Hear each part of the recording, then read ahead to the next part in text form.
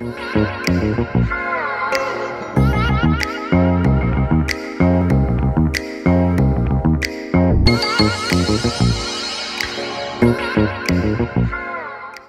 it says that it's a no rinse shampoo, I guess hence the name Easy Out.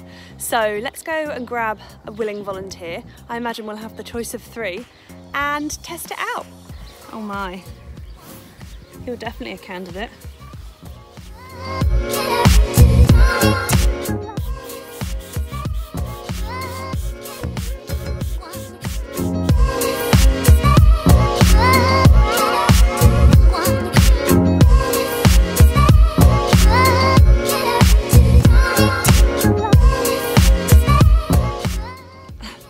grubby pony.